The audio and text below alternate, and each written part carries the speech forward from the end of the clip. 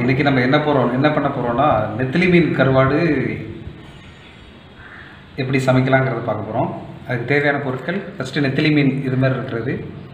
வெங்காயம் தக்காளி மிளகாய் கருவே கத்திரிக்காய் கருவேப்பிலை வெள்ளைப்பூடு அப்புறம் மஞ்சள் பொடி மீன் குழம்பு பொடி வெந்தய பொடி மல்லிப்பொடி மிளகாய் பொடி அப்புறம் பிரிஞ்சி இலை தேவையான அளவு. கடுகு எண்ணெய் எவ்வளோ தாளிக்கிறதுக்கு தேவையான அளவு. இப்போ எப்படி செய்கிறேங்கிறத பார்க்க போகிறோம் முதல்ல நெத்திலி மீனை எடுத்துக்கிட்டு அதோட தலையெல்லாம் பிரி தலையையும் உடம்பையும் தனியாக பிரிச்சுட்டு தலை நம்மளுக்கு தேவையில்லை. அதை ரிமூவ் பண்ணிடலாம். வெறுமனே இப்போ த தலையை நீக்கின பகுதியை மட்டும் எடுத்து வெந்நி சுட வச்சு அதில் க கழுவி எடுக்க போகிறோம் இப்போ வெந்நி நல்லா கொதிச்சுட்டு அதில் நம்ம மீன் எடுத்து போடுறோம். தலையை நீக்கின மீன் எடுத்து.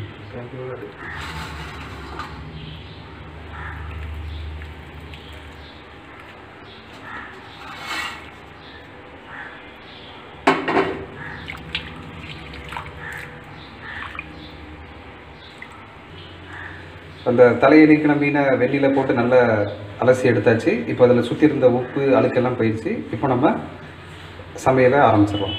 ஒரு பிஞ்சரில் இப்போ எண்ணெய் நல்லா சூடாகிட்டு அதில் வந்து இந்த பிரிஞ்சி இலையை ஒன்று போடுறோம்.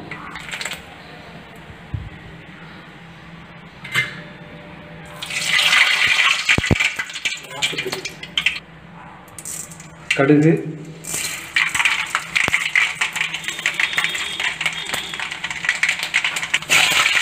மிளகாய்.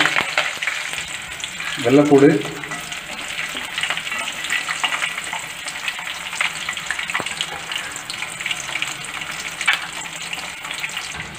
கறிவேப்பிலை கருவேப்பிலையை முதலே போடனாலும் போடலாம். கடைசி போட்டிங்கன்னா ரொம்ப கருகாது நல்ல மணமாக இருக்கும். அதனால் கடைசி போடுவோம் நாங்கள் மிளகாய் வெள்ளைப்பூண்டு எல்லாம் பொரிச்சதுக்கப்புறம் நம்ம வெங்காயத்தை ஆட் பண்ணுறோம்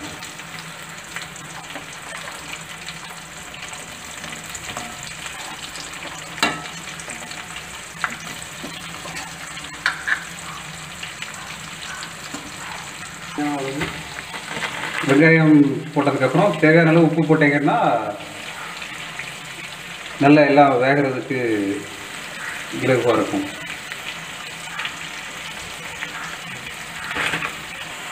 வெங்காயம் நல்லா புரிஞ்சுட்டு இப்போது கத்திரிக்காய் வெட்டி வச்சிருந்த கத்திரிக்காயை இதில் சேர்க்க போகிறோம்.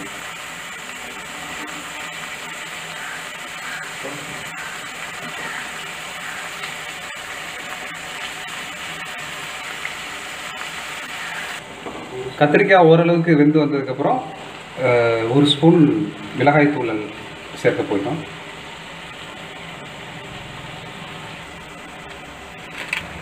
அரை ஸ்பூன் மஞ்சள் தூள் ஒரு ஸ்பூன் வெந்தய பொடி ஒரு ஸ்பூன் மல்லித்தூள். இது மீன் குழம்பு பொடி ஒரு ஒரு ஸ்பூன் இங்கே பக்கத்தில் தயாரித்து வைக்கிறாங்க அங்கேருந்து வாங்கினது மசாலா எல்லாம் ஓரளவுக்கு நல்ல காய்கறிகளுடன் சேர்ந்ததுக்கப்புறம் தக்காளியை கடைசியாக போடுவோம். ஏன்னா தக்காளியோட சாறு போய் இது ஒரு டிஃப்ரெண்ட்டான டேஸ்ட் கொடுக்கும்.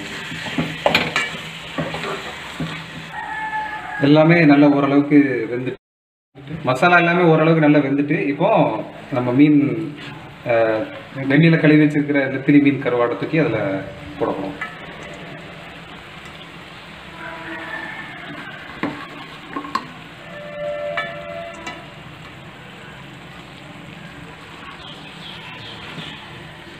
நல்லா கிளறி விடுங்க